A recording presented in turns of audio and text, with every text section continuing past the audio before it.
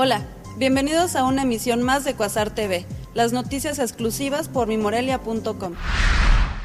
El diputado local del Partido Acción Nacional, Francisco Morelos Borja, calificó como positiva la designación de Jesús Ortega como presidente nacional del PRD.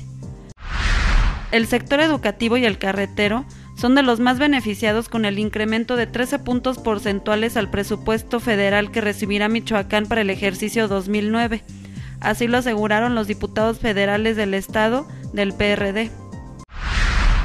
Salvador López Orduña, presidente del Fondo Nacional para la Vivienda, informó que para el 2009 se incrementará en un 20% el presupuesto para Michoacán.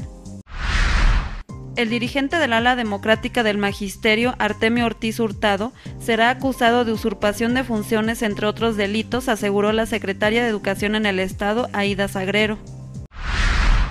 El diputado federal Daniel Chávez aseguró que el gobierno mexicano ya se encuentra en pláticas con autoridades estadounidenses para beneficiar a los migrantes durante el mandato del ahora presidente electo de los Estados Unidos, Barack Obama. Michoacán es el primer productor mundial de aguacate con un 34%. Hacia el 2006 el estado exportó 98.462 hectáreas, que se reflejó en un millón de toneladas de este fruto. Actualmente se encuentra sembrada una superficie de 120.000 hectáreas.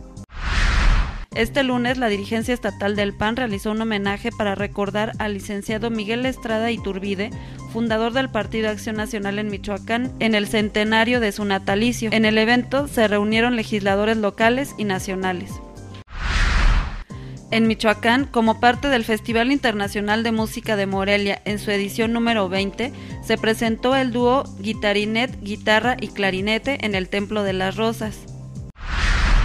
Este lunes fue trasladado a bordo de un helicóptero de protección civil José Luis González Colín de 30 años de edad, quien recibió al menos cinco impactos de bala en la comunidad de La Parota en el municipio de Huetamo. Gracias por acompañarnos a una emisión más de Cuasar TV, las noticias en exclusiva por mimorelia.com.